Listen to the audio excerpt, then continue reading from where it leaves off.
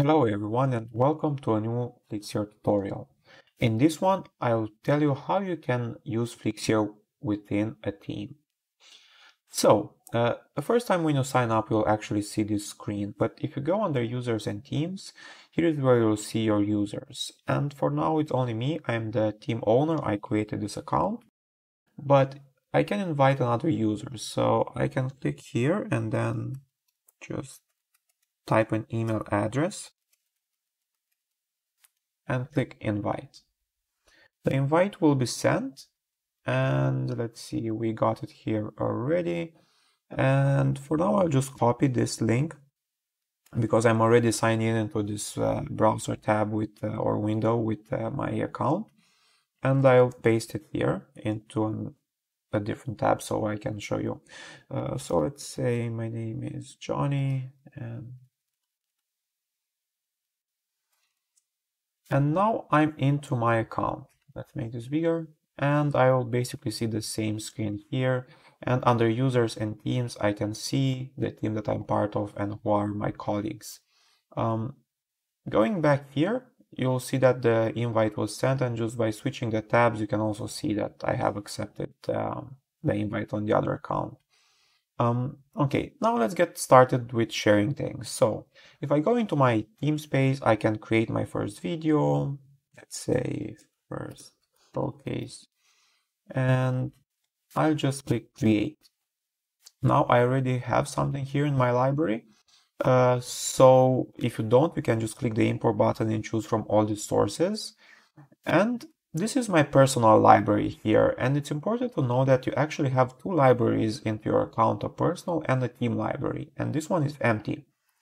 But if I click the personal library and I click, I right click and share with my team, you'll get here a small icon indicating that this item is shared, and then I can also switch and I can see that uh, this, uh, this team has an account. Now in this project of mine, which by the way, it's still personal as well. So everything that you create is personal unless you are in the team library and you upload files directly in the team library, which will make them shared uh, directly. But as I said, this project is um, is uh, personal. So let's uh, save it. And if I go back to projects, now I can click on these three dots and click share with team. And you'll see that um, uh, this project now is shared.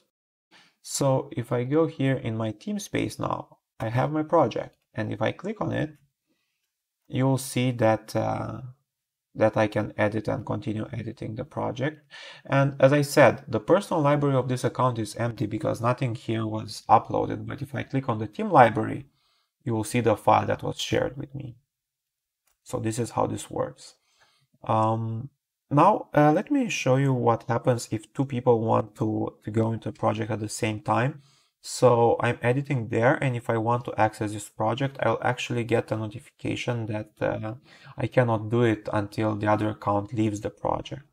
But um, I'll do it for a second. So now I'm out. And if I come back, you'll see that the project is enabled for me.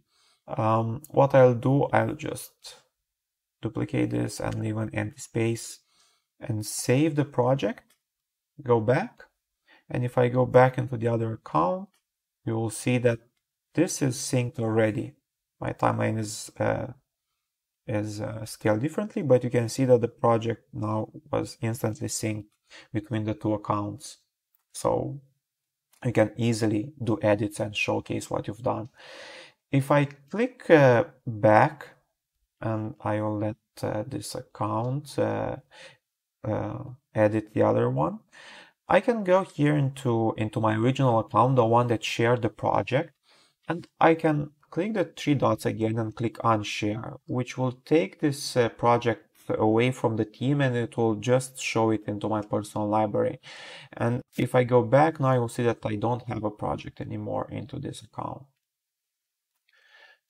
One more thing to notice is that you can also handle your media uh, files from the media library in here if you need more space. So you can still switch between personal and team and um, you can uh, import files here as well. So if you want that, that be easier.